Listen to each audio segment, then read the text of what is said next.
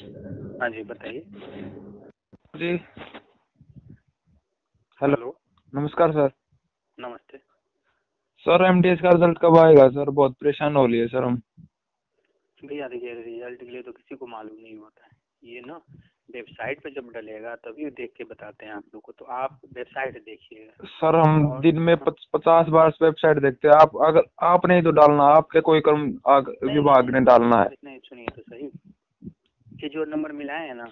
जी sir. यहाँ यहाँ पे इसकी जानकारी नहीं है पहली बात। दूसरी बात आप किसी से भी पूछोगे ना जो यहाँ के कोई भी कर्मचारी हैं उनको भी नहीं मालूम होता है। सिर्फ़ जो सेक्शन काम करता है उनको मालूम होता है लेकिन वो भी नहीं बताएँगे।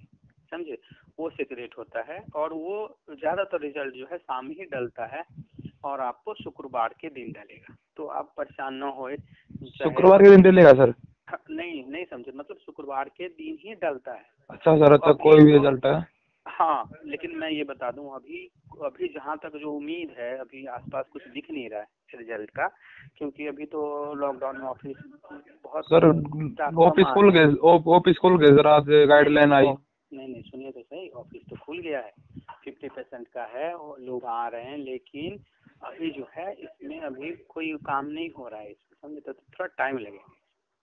टाइम लगा सर?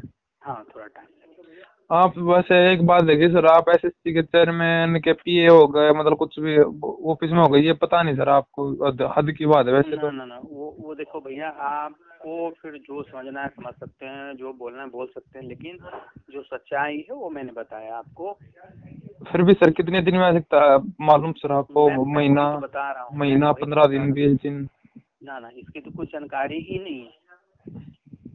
आप तो- किसी से भी पूछ लो आपको यही जवाब मिलेगा। लेकिन सच्चाई ये है कि, कि मालूम नहीं होता है सर जो डालता है सर वो जो विभाग डालता है उसको तो पता होगा सर वो तो बनाता है। होता है हाँ हाँ उसको ज़रूर मालूम होगा लेकिन वो नहीं बोलेगा नहीं बताएगा क्योंकि वो कॉन्फिडेंशियल है। वो तब बताएगा जब रिज़ल्ट आज निकलने वाला है और चेयरमैन साहब जब साइन करेंगे फ़ाइल पे फिर उनको पता चलेगा कि आज डलेगा उनको अच्छा भी नहीं मालूम है कि अच्छा समझे?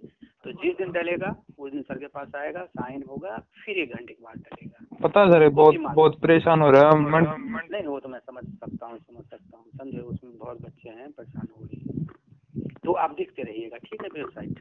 Thank you sir